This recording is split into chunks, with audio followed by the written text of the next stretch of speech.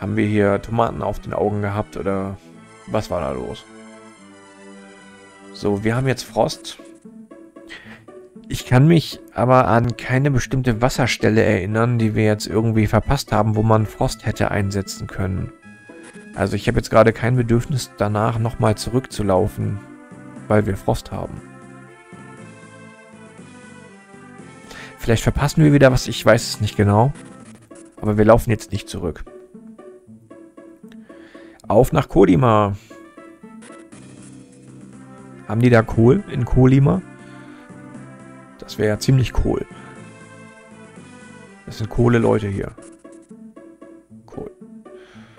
Okay, ich habe genug Kohl gesagt. Das ist Kolima. Das Dorf der Holzfäller. Die ganze Welt soll es hören. Stimmt, dies ist Kolima. Genau, er hat in Gedanken gesagt, äh, wenn er jemandem was sagen könnte, äh, würde er sagen, dass das hier Kolima ist.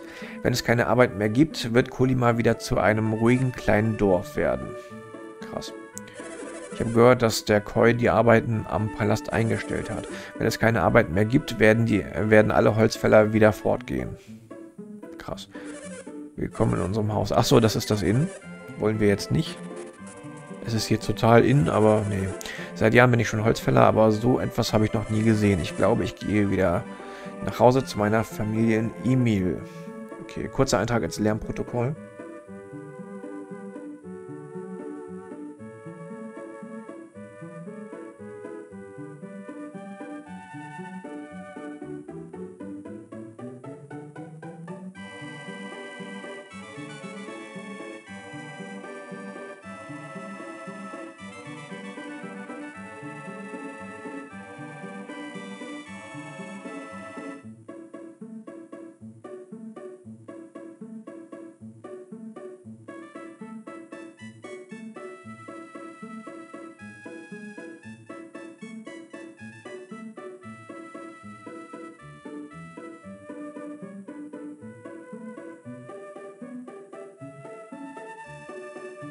Und weiter geht's. Habe ich das schon gesagt? Ich weiß nicht. Ich glaube, ich gehe wieder nach Hause zu meiner Familie in Emil. Ah, dann kannst du ja Mia grüßen. Wie müsstest du dann ja kennen. Ich bin nur ein Händler, aber weil ich gerade hier war, wurde auch ich in einen Baum verwandelt. Jetzt, wo ich wieder ein Mensch bin, gehe ich Xian südlich des Flusses. Habe ich es nicht gelesen oder hat er einen Ach so, da stand er letztes Mal wahrscheinlich im Weg. Ich kann mich an irgendwen erinnern, der irgendwo im Weg stand und wir an einen Topf nicht rankamen. Ich wollte nochmal alle Häuser durchsuchen, aber wahrscheinlich war der jetzt da. Im Weg. Wir, wir schauen uns trotzdem zur Sicherheit nochmal die anderen an. Vielleicht hat er zwischenzeitlich irgendwer irgendwo was reingepackt. Der Wald ist die Grundlage unserer Existenz und dennoch haben wir den heiligen Baum verletzt.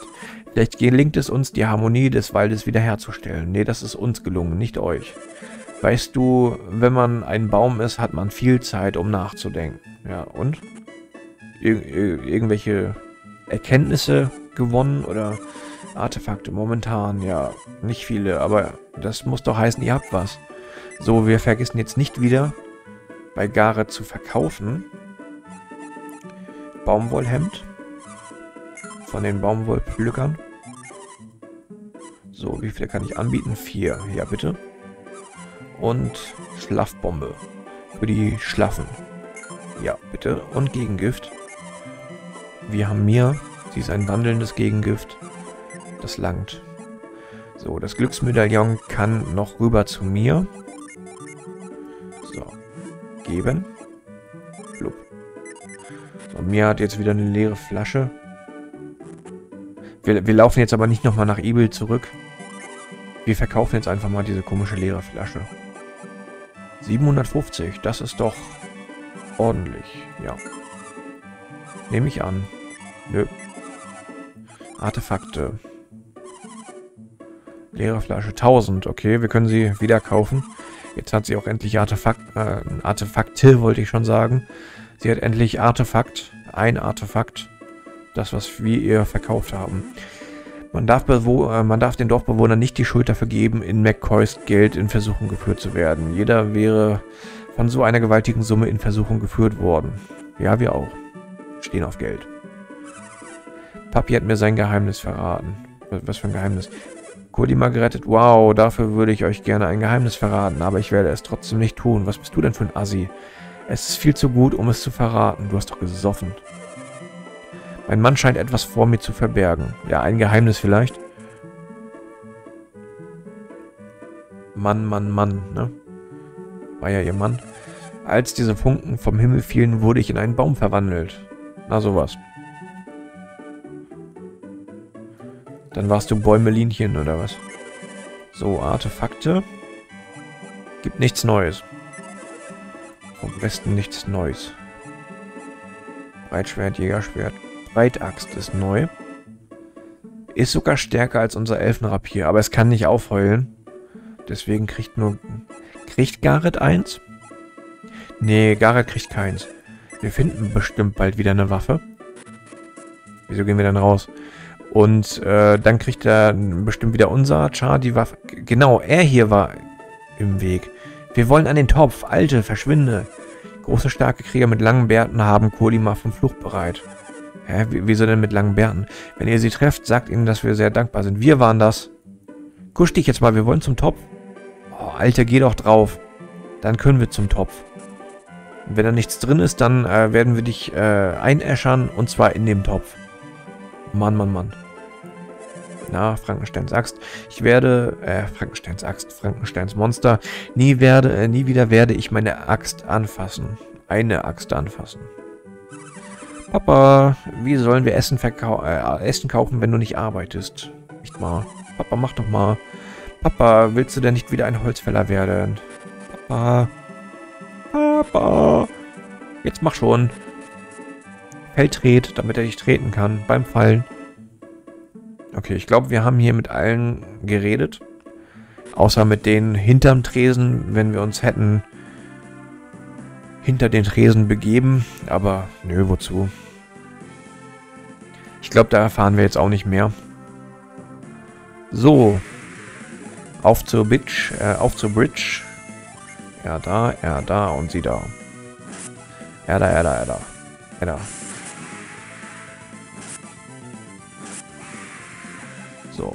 Zombie sind tot. Jo, er ist auch entbaumt. Ob sie...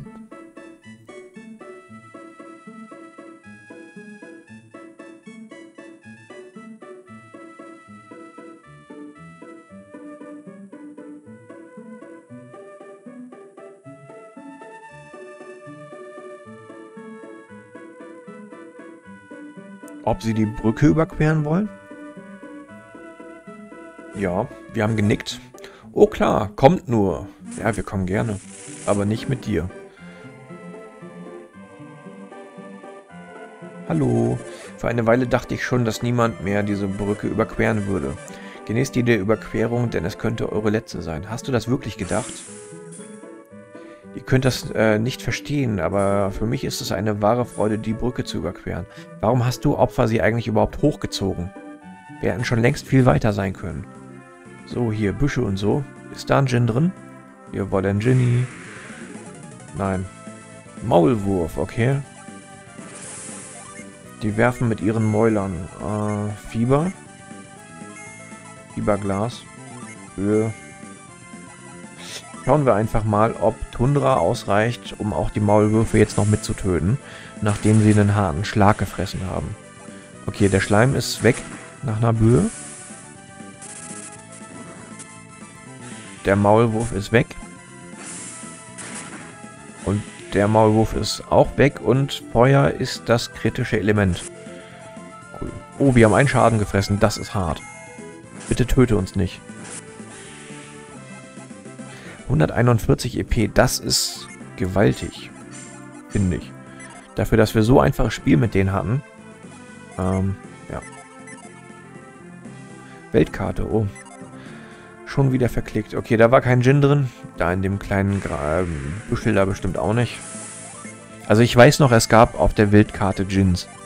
Man musste sie einfach irgendwie so in, in so Grasbüscheln oder auf Inseln finden. Ich weiß, ich habe es jetzt schon ein paar Mal gesagt, aber irgendwann müssen wir doch dann auch mal welche finden. So. Bär ist tot. Reißzahn, Grizzly. Bear. Bear to be alive.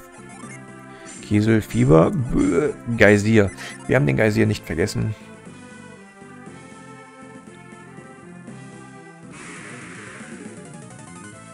Alles voller Schlamm hier. Kiesel. Fieber. Böe. Geysir. Jeder kriegt einen. Sehr schön. Böe hat zweimal zugeschlagen. Das könnte sein, dass wir alle mit einmal weghauen. Nee, Mia war nicht stark genug. Schade. Klebschleim.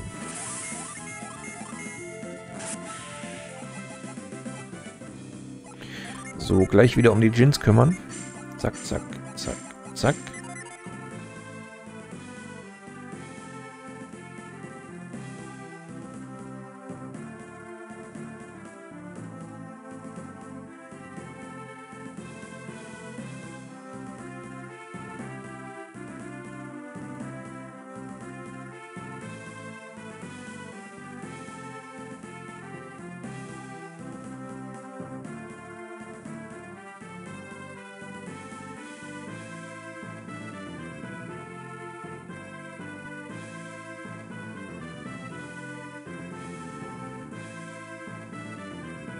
Und weiter geht's. Ups, falscher Knopf. Wir wollten mit B laufen, genau. Ist hier ein Gin drin? Ja, ich gebe nicht auf. so, komm jetzt. Wo sind die Gegner? Da sind sie. Echsenmann. Okay, ist jetzt keine größere Herausforderung als im Leuchtturm. Ja, okay, minimal größer. Mia ist minimal schwächer als im Leuchtturm. Aber das passt schon.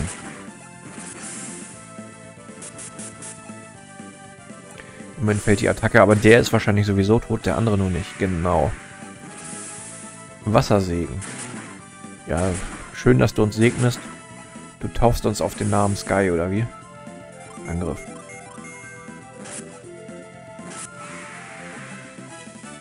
Ivan ist Level 13 und hat nichts gelernt. Ist ja üblich. Der hat in den ganzen Leveln, die er jetzt gemacht hat, erst eine Technik gelernt. Das ist, finde ich, ziemlich wenig. So, da können wir gleich reingehen. Wir, schauen erstmal noch hier. Ui, jetzt sind schon drei Echsenmänner. Kiesel, Fieber, Böe und Geysir. Wenn Ivan jetzt zweimal zuschlägt, sind wahrscheinlich zwei Echsenmänner tot. Sehr schön. Genauso wollten wir das sehen. Und den letzten kriegen wir dann wahrscheinlich auch mit Auto-Hits kaputt. Jawohl, kritisches Element. Ganz genau so. Okay, Ivan müssen wir gleich heilen nach dem Kampf. Auf jeden Fall. Wir schmettern ihn weg. Und kritten ihn weg. Volle Lunte. Ja, es läuft. Einmal heilen, bitte. Ivan den Schrecklichen. Und dann, nein, nicht die Karte. Die Gins. Der da und der da. So, okay. Da ist nichts weiter, da ist ein Wald. Okay, wir gehen erstmal in den Ort. Tempel von Furin. Hallo. Wie seid ihr hierher gekommen? Ist die Brücke wieder geöffnet? Ja.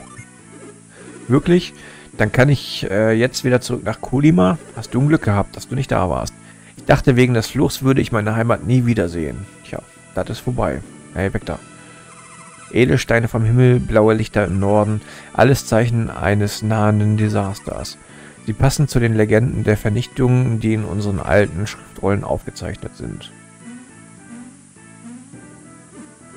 Om, om, blaue Lichter im Norden, erschreckend. Ein Regen zerbrochener Sterne, plötzlich entsteht ein Wald, so viele Omen denn für einer? Denkst du auch normal? Viele Sterne fielen vom Himmel, genau wie es in den Schriften steht. Es ist wahrlich ein Zeichen, dass die Welt zerstört werden wird. Na siehst du, du kannst doch vernünftig denken. Warum sprichst du nicht vernünftig? Ja. Er sieht auch bescheuert was aus. Was denkt er? Es hat keinen Sinn zu trainieren, wenn die Welt zerstört werden wird. Vielleicht ist es besser, einfach sein Leben zu genießen. Ja. Aber man weiß ja nicht, ob die Welt zerstört werden wird. Nyunpa hat seit Tagen nichts gegessen. Er wird magern, bis er keinen Schatten mehr wirft. Wer ist Nyunpa? Ich kann mir nicht vorstellen zu fasten. Allein wenn ich daran denke, bekomme ich schon Depressionen, ja. Darüber macht man keine Scherze, du. Schönes Kind. Ist es nicht ein nobler Zug von ihm, zu versuchen, die Welt zu retten, indem er die Erleuchtung anstrebt? Nein. Weißt du, was du da sagst? Nein. um die Erleuchtung zu erlangen, muss man fasten und Körper und Geist zu reinigen. Hat man sich von allen weltlichen Bedürfnissen befreit, kann man die Kräfte des Geistes fokussieren. Äh, nein. Weißt du überhaupt, was du da sagst? Ja. Nun, es mag viele verschiedene Meinungen auf dieser Welt geben, aber ich wünschte, ihr würdet unseren Glauben verstehen. Ja, es ist ein nobler Zug. Auf jeden Fall will ich nicht sehen, wie sich Nyonpa selbst opfert. Okay. Nur bei Nein quatschst du so viel, oder wie? Willkommen, müde Wanderer. Wie kann ich euch dienen? Indem wir deine Gedanken lesen. Wenn ich schon hier bin, möchte ich die Geheimnisse des Furin-Tempel erfahren. Aber das wird nicht geschehen, bevor ich mich nicht intensivem Training unterziehe. Ja, okay. Da ist ein Synergy-Stein. Ja, komm, heilen wir nochmal voll. Der wird nicht grundlos da liegen. Dann speichern wir auch gleich nochmal. Okay, hinterm Haus ist nichts. So, wir haben einen Synergy-Stein. Alle PP sind aufgefüllt. Eicheln. Ja, bitte. So, rein ins Vergnügen. Okay. Können wir ihn plündern, während er da nichts mitkriegt? Oh ja, ein Einhornring. Cool. Wir haben ihn ausgeraubt. Heilt im Kampf Vergiftung. Okay. Ja. Garrett. Ich meine, finde ich jetzt nicht sehr berauschend, den Ring. Aber solange wir einen Ringplatz frei haben, warum nicht? Hallo? Er punktet darum. Okay. Hm, wer ist das? Wer spricht zu meinem Geist? Nein, nein, wir lesen nicht, wir, sprech, äh, wir sprechen nicht, wir lesen. Junger Meister, war es deine Stimme, die mein Geist eben vernahm? Nein. Belüge mich nicht. Doch. Oh, er kann auch Geistleser. Ich wusste es. Du folgst ihnen, nicht wahr? Ähm. Nein. er glaubt uns nicht. Du lügst, in der Tat folgst du ihnen. Doch ihr müsst den endlosen Wald von Mogal durchqueren. Der Wald selbst ist ein legendär lebendes Geheimnis und seine Pfade sind verschlungen. Kein gewöhnlicher Mensch kann ihn durchqueren. Dann ist es ja gut, dass wir nicht gewöhnlich sind. Aber ihr könnt es schaffen, junge Meister. Ja, natürlich. Wenn ihr die Aufgaben der Wasserfallgrotte lösen könnt, werde ich euch sagen, was zu tun ist. Okay. Eine Lustgrotte. Wollt ihr den Test auf euch nehmen? Unbedingt.